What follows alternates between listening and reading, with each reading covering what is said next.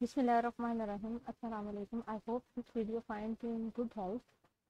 Today we shall discuss about modes of file opening in C. In the previous lecture we have discussed this example in which we learned about how we can open a file and how we can write content in our file using f to c function. आज हम इस F F open function में एक हम लोगों ने argument जो पास किया था, जिसका नाम था मोड ठीक है? इस मोड के बारे में तफसील से डिटेल में पढ़ेंगे कि ये मोड है क्या चीज़, ठीक है? और यहाँ पे हम लोग डब्ल्यू क्यों पास कर रहे हैं, ठीक है? तो स्टार्ट करते हैं रीड रीड मोड से। रीड मोड के अंदर अगर आपने फ़ाइल को ओपन करना है तो क्या होगा कि आपने मोड के अंदर क्या लिखना है? जहाँ पे हमने एग्ज़ाम्पल में डब्ल्यू लिखा था, वहाँ पे आप क्या लिख देंगे? आर लिख देंगे। इसमें होगा क्या कि हम लोग सिर्फ़ डाटा को रीड कर सकेंगे फ़ाइल के अंदर से, जो भी फ़ाइल ओपन की है, ठीक है? उस ओपन फ़ाइल के अंदर से डाटा को रीड कर सकेंगे। और इसमें ये भी फीचर है कि अगर तो फ़ाइल एग्जिस्ट नहीं करती तो फ़ाइल एग्जिस्ट नहीं करती तो कोई फ़ाइल क्रिएट भी नहीं की जाएगी। जैसे कि मैं यहाँ पे आर पास कर दूँगी आर्ग्यूमेंट ठीक है? तो फिर क्या होगा कि फ़ाइल जो ओपन होगी, वो किस मोड में ओपन होगी? रीड मोड में ओपन होगी, ठीक हो गया? अब नेक्स्ट बात करते हैं। नेक्स्ट हम लोग आर्ग्यूमेंट की बात करते हैं, जो कि हम लोग पास करेंगे एज अ मोड जो है हमारे पास write write mode write for W sorry W for write only writing possible writing कर सकते हैं फ़ाइल के अंदर। Create file if it does not exist all otherwise erase the old content of the file and open as a blank for example हमारी एक file already exist कर रही है और मैंने जो ओपनिंग मोड दे दिया है डब्ल्यू ठीक है? यहाँ पे मैंने डब्ल्यू पास कर दिया है तो क्या होगा कि जो फ़ाइल ओपन होगी, वो उस फ़ाइल के अंदर से पहले जो कंटेंट ऑलरेडी रिटर्न है, उसको रिमूव कर दिया जाएगा और फिर नए सिरे से एक ब्लैंक फ़ाइल ओपन हो जाएगी, ठीक हो गया? और अगर मैं ये पास करती हूँ तो एक केस ये भी हो सकता है कि अगर फ़ाइल ऑलरेडी क्रिएटेड नहीं है तो एक फ़ाइल को क्रिएट किया जाएगा देन उसके अंदर राइटिंग परफॉर्म होगा अनलाइक रीड मोड और अब नेक्स्ट बात करते हैं अपेंड ए ए अगर यहाँ पे मैं पास कर दूँगी एज अ आर्ग्यूमेंट तो क्या होगा कि वो अपेंड मोड में फ़ाइल को ओपन करेगा, ठीक है? एफ़ फ़ंक्शन अपेंड मोड में उस फ़ाइल को ओपन करेगा. अब अपेंड क्या चीज़ है? ओनली राइटिंग पॉसिबल हम इसके अंदर सिर्फ़ राइटिंग कर सकते हैं. अगर इस मोड में फ़ाइल को ओपन करेंगे तो फ़ाइल के अंदर सिर्फ़ क्या हो सकता है? राइटिंग हो सकती है. Create file if it does not exist अगर तो फ़ाइल एग्जिस्ट नहीं करती क्रिएट करेगा फ़ाइल को, ठीक है? Otherwise open file and write from the end of file और अगर तो ऑलरेडी फ़ाइल एग्जिस्ट कर रही है, ठीक है?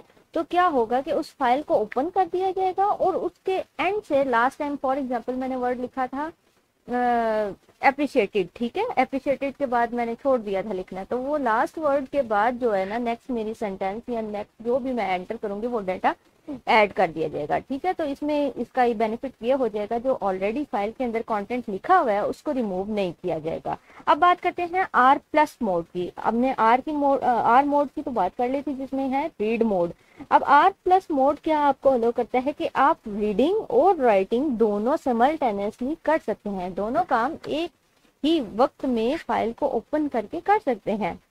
ज़्यादातर प्रेफर किया जाता है कि हम लोग ये वाले मोड यूज़ करें। जब हम लोग जब प्रोजेक्ट्स अपने बना रहे होते हैं create file if it does not exist अगर तो फ़ाइल ऑलरेडी एग्जिस्ट नहीं कर रही कर रही है तो उस फ़ाइल को क्रिएट करेगा। Overwriting existing data overwrite भी कर देगा एग्जिस्टिंग डाटा को दी गई use for modifying content mode content को मॉडिफाई करने के लिए मोड को यूज़ करते हैं।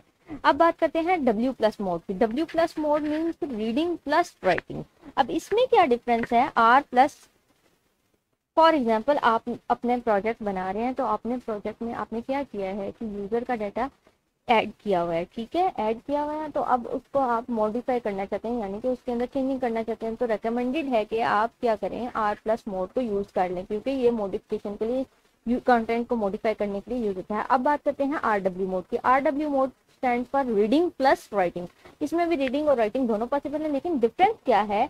कि फ़ाइल भी ये क्रिएट कर सकता है, कर देता है अगर फ़ाइल ऑलरेडी एग्जिस्ट नहीं करती। लेकिन डिफरेंस क्या है कि रेज ओल्ड कंटेंट पहले जो कंटेंट लिखा हुआ है, उसको लाजमी तौर पे रेज कर दिया जाएगा। Sorry A W A plus mode की ए प्लस मोड क्या करता है? रीडिंग जब भी हम लोग फ़ाइल को ओपन करते हैं आर प्लस मोड में अगर ओपन करेंगे तो क्या होगा कि आप रीडिंग भी कर सकते हैं फ़ाइल के अंदर से डाटा जो ऑलरेडी लिखा है, उसको आप रीड भी कर सकते हैं, उस फ़ाइल के अंदर कॉन्टेंट को राइट भी कर सकते हैं, और उसके साथ साथ अगर तो फ़ाइल ऑलरेडी क्रिएटेड नहीं है तो append mode R plus mode जो है वो ऑटोमेटिकली फ़ाइल को क्रिएट कर देगा।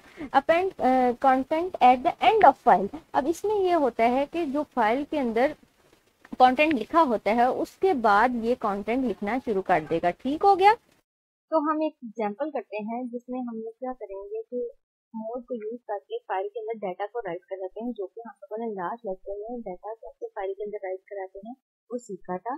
अब प्रोग्राम के ज़रिए इसको कैसे करते हैं? ये प्रोग्राम था जो हम लोग लास्ट टाइम क्रिएट किया है in order to write data और डाटा इन आवर फ़ाइल ठीक है? जो स्ट्रिंग हमने राइट करवाई थी वो थी hello world here is the file जिसका नाम हमने रखा था hello hello dot P file का नाम रखा था और इसके अंदर हमने कॉन्टेक्ट क्या दिखाया था हेलो अब हम चाहते हैं कि इस फ़ाइल के अंदर डाटा ये रिमूव ना हो और इस हेलो वर्ड के आगे ही कोई कंटेंट लिखा जाए। तो वो कैसे होगा कि हम लोग कौन सा मोड यूज़ करेंगे? यहाँ से ए का मोड ठीक है? अपेंड मोड ए लिख देंगे तो क्या होगा कि वो जो कंटेंट लिखा है, उसके एंड से डाटा लिखना शुरू हो जाएगा और यहाँ पे हेलो वर्ड तो लिख दिया। उसके बाद हम लोग लिख देते हैं प्रोग्रामिंग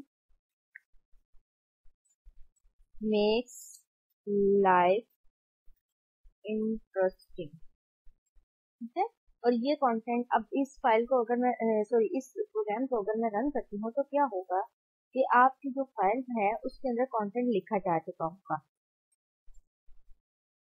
ये देखें स्टूडेंट्स मैंने वापस आके वही फ़ाइल हेलो हेलो वाली फ़ाइल ओपन की है, ठीक है? और उसके किया था पहले कंटेंट लिखा था हेलो और प्रोग्रामिंग मेक लाइफ इंटरेस्टिंग ये मैंने नेक्स्ट कॉन्टेंट ऐड कर दिया। इसको मैं दोबारा अगर प्रोग्राम में कुछ और ऐड करती हूँ